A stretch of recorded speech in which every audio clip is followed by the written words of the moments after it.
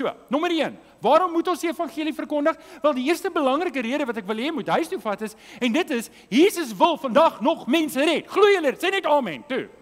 OK, Jesus wil vandag nog mense red. En ek kry die idee, ons as gelowiges is so vol van ons eie lewe, so vol van ons eie dinge en vol van ons eie agendas, dat die laaste ding wat op my gedagtes kom is dat die Here wil die mense om my red. En ek strap self van daai struik. Ek is in die winkelsentrum, ek sien ek is daar en ek het al hierdie goed wat gedoen moet word en dit dit dit en dan voor ek myself kry, is nog 'n dag verby en ek het nie eens aandag gegee aan die Heilige Gees wat in my lewe roep om 'n getuie te wees vir die mense om my nie. En die uitdaging wat ek en jy het is om 'n lewe te leef wat getuig elke dag. OK.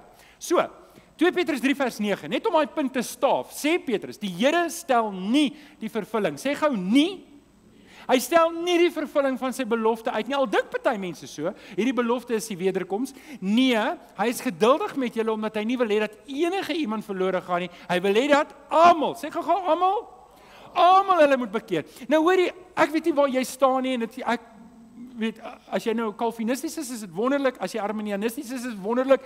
Ek gaan nie in daai debat in betrokke raak nie. Wat ek en jy net vir mekaar moet sê is dat die Here wil vandag nog mense red. Hy het nog nie hy's nog nie klaar gered nie. Hy het nog nie klaar sy werk gedoen nie. Die rede hoekom hy nog nie teruggekom het nie, is want ons werk vir my en jou om te doen. So, solank jy elke oggend asem in jou longe het, oom Billy, ek weet nie hoe oud is oom nie, hoe oud is oom? non non no comment. maar oom Billy solank oom elke oggend opstaan, het oom 'n verantwoordelikheid om die evangelie uit te leef. Dankie dat ek op oom kan pik. Ek's baie lief vir oom Billy. Oom Billy, koop hom asseblief vir my ook. Okay, hier's die ding. Hier's die ding. Jy dalk, jy dalk kinders wat nie die Here ken nie. Jy dalk 'n man of 'n vrou wat nie die Here ken nie. Jy het dalk familielede wat nie die Here ken nie. Jy is waarskynlik die enigste hoop en hulp wat daai persoon het. En daarom is dit so belangrik dat ons nie moet kibbel oor verskille oor allerlei goeters nie, maar Paulus sê in 1 Korintiërs 2 vers 2, ek het my voorgenem om met julle te praat oor niks anders as oor Jesus Christus en wel oor hom as die gekruisigde nie. Hoekom nie? Want Jesus wil vandag nog mense red. Sê net vir die ou langsaan, Jesus wil vandag nog mense red. So, dis nou jou familie, maar dit gaan weier. Jou bure. Vanoggend 2 uur, nee, vanoggend 2 uur toe een van ons bure nou by die huis gekom. Ek weet nie waar dit is nie. Sê ja, Johan, wat se bier bly jy? En toe speel, ek weet nie of dit sy kar is of wat nie, maar hy speel toe harde musiek.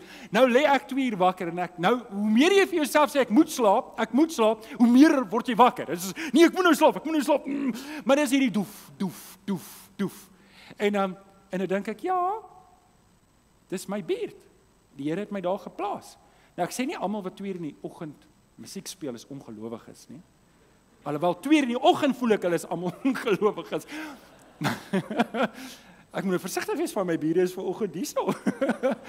so hier's die ding, jy's in daai buurt geplaas juis sodat jy 'n verskil kan maak. By jou werk. Wie van julle het mense wat moenie hande opsteek nie? Mense by die werk wat ongelowig is. Wat jy wonder, waar staan hulle? En ek en jy moet 'n getuie wees daar ook. En en dis die ding wat ek en jy moet verstaan. Ek en jy is die sout van die aarde. Ons is die lig vir die wêreld. En ek en jy moet dit verstaan. As ek en jy dit nie gaan doen nie, gaan dit nie gebeur nie. Sout het 'n invloed, lig het 'n invloed. En en en daarom moet ek en jy verstaan. En as ek en jy hierdie ding kop en ons het dit reeds vir mekaar gesê, net Jesus kan dit. Ons gaan nou daar weer uitbrei. Dan moet ons vir mekaar sê Jesus wil daai mense red. Daai mense wat my en jou so frustreer, Daai mense wat my en jou so irriteer, Jesus het vir hulle gesterf aan die kruis want hy wil hulle red en hy wil jou en my gebruik om by hulle uit te kom. Amen. OK. Die uitdaging wat ek baie keer hoor is mense wag vir die regte tyd. Het julle al gehoor? Mense sê ek wag vir die regte tyd. Ek wag vir die regte geleentheid. Nee, maar die timing is everything. Jy praat nie sommer net met mense oor die Here nie. Weet jy net, party mense gaan doodgaan voordat die timing reg is vir my en jou.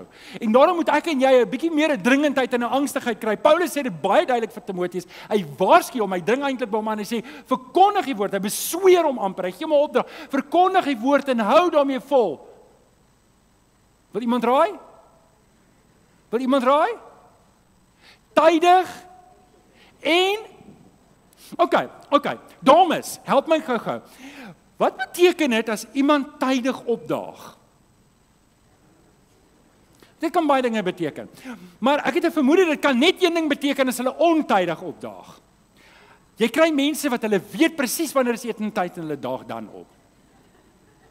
En jy gaan daai boontjies op daai stoof hou tot dit houtskool is en dan gaan jy dit maar deel met die mense, nê. Nee. Ontydig per definisie beteken dis nie nou die regte tyd nie, maar jy doen dit in elk geval. En nou ek daar moet 'n sensitiwiteit wees. daarmee stem ek saam. Maar ek kan nie besluit hoe weet ek wanneer is dit nou die tyd? Wie besluit nou wanneer is dit die tyd? Paulus sê tydig en ontydig.